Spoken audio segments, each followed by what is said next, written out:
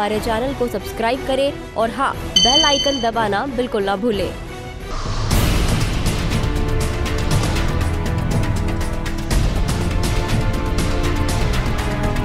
UP के बुलंदशहर में morning walk को निकले अस्सी साल के किसान के सिर में। गोली मारकर हत्या कर हत्यारे फरार हो गए।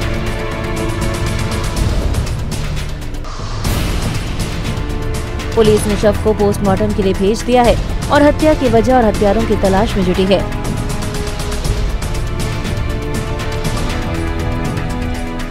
ये शव है बुलंदशहर के जहांगीराबाद कोतवाली क्षेत्र के गाँव, लचोई गाँव में रहने वाले 80 साल के किसान रामवीर सिंह का।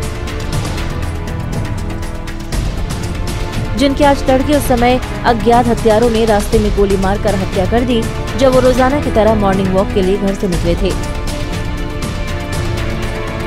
परिजनों की माने तो किसी से रंजिश नहीं थी।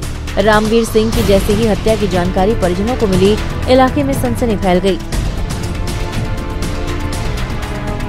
मौके पर पहुँची पुलिस ने शव का पंचनामा भर पोस्टमार्टम के लिए भेज दिया है।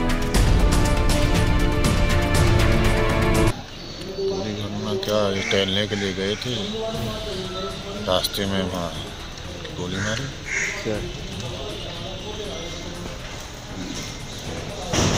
कोई किसी से रंजिश रंजिश कोई? नहीं।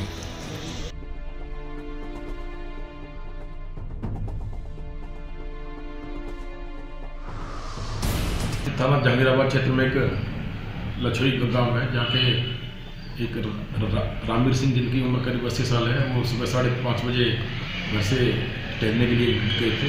वहीं पर गाँव के पास में ही उनकी डेड बॉडी मिली है उनके सिर में गोली लगी है। और पुलिस इसमें इसी इसका पर्दाफाश करने का प्रयास कर कोई सर रंजिश है? कोई क्या? नहीं अभी क्योंकि अभी जस्ट अभी की घटना है इसमें हम लोग जाँच करेंगे जो प्रकाश में आए उसके हिसाब से कार्रवाई होगी। पुलिस के माने तो पुलिस हत्यारों और हत्या के कारणों का पता लगाने में जुटी है। Editor in chief Iqbal Saifi के साथ Hamid Saifi Time 24 News